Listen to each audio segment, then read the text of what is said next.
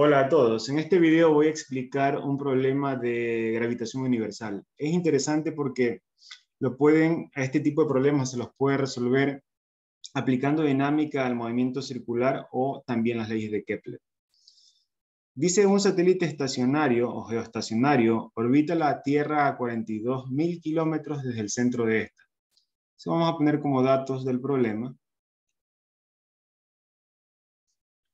R igual 42.000 kilómetros.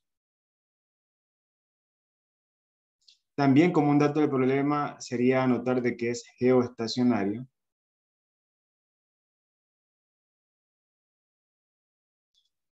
Y nos dicen que el satélite tiene una masa M de 1000 kilogramos. ¿Cuál es la fuerza que actúa sobre un satélite a esa altura?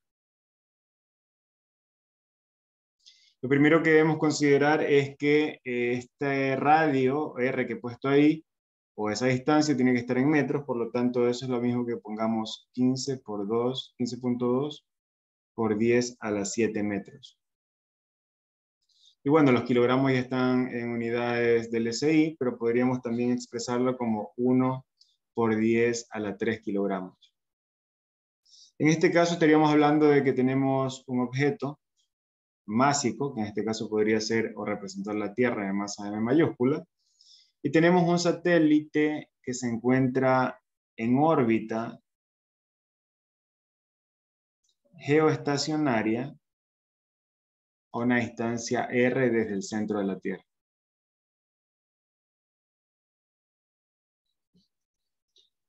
Entonces, eh, ¿qué significa que sea geoestacionaria? Y eso va a ser lo, importante. Lo importante de considerar de que sea geoestacionaria es de que la velocidad angular que tiene el satélite en su órbita va a ser igual a la velocidad angular que tiene el planeta. De tal forma de que para cualquier instante, la persona que se encuentra en la superficie terrestre va siempre a observar al satélite que se encuentra en la parte superior o hacia la parte superior.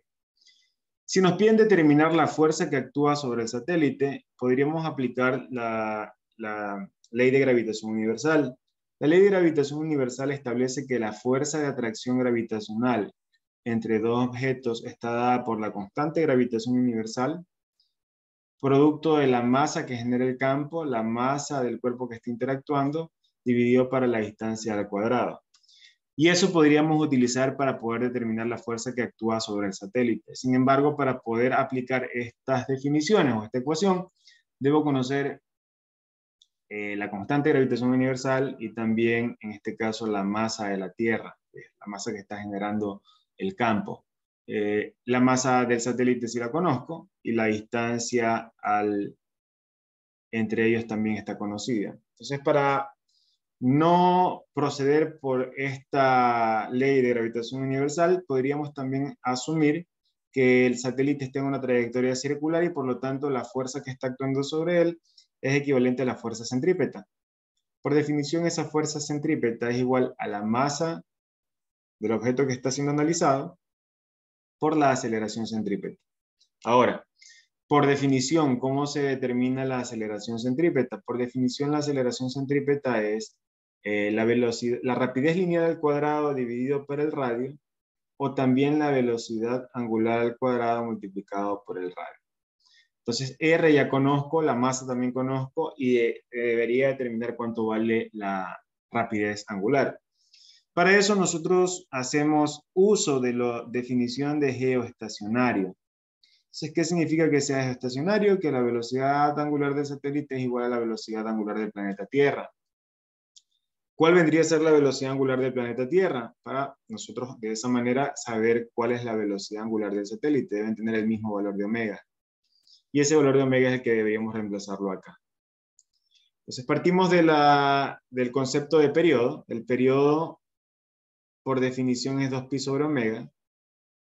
Es decir, 2pi sobre la velocidad angular.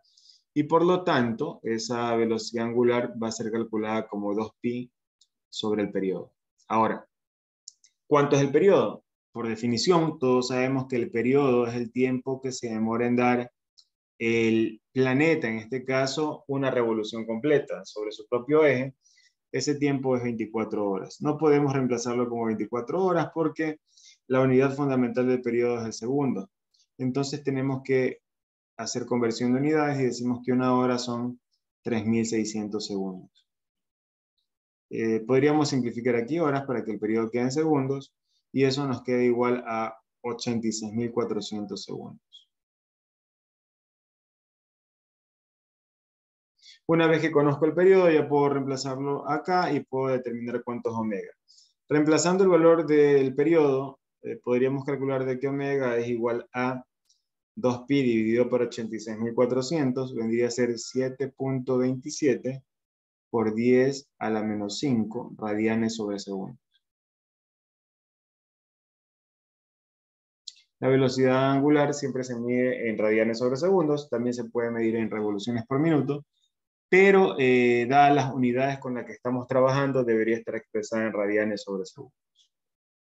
Entonces, si nosotros nos aseguramos de que el planeta Tierra tiene una velocidad angular de 7.27 por 10 a la menos 5 radianes sobre segundos, ocurre que para que el satélite sea geoestacionario, es decir, se encuentre estacionario respecto a alguien que se encuentra en Tierra, esa velocidad angular también tiene que ser 7.27 por 10 a la menos 5. Una vez que tenemos eso, entonces ya podríamos calcular esa fuerza gravitacional entre ellos, reemplazando que la masa es eh, la masa del satélite 1 por 10 a la 3,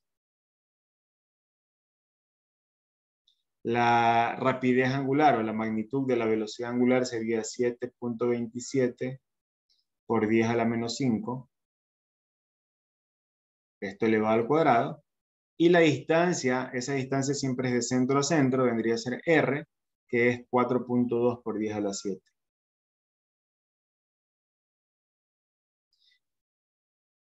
En este caso, si ustedes hacen un análisis de unidades, les va a dar que la fuerza está en newtons y es igual a 291.98 newtons. Esta vendría a ser la magnitud de la fuerza eh, que actúa de del planeta Tierra sobre el satélite y debido a la tercera ley de Newton es la misma fuerza que ejerce el satélite sobre el planeta Tierra.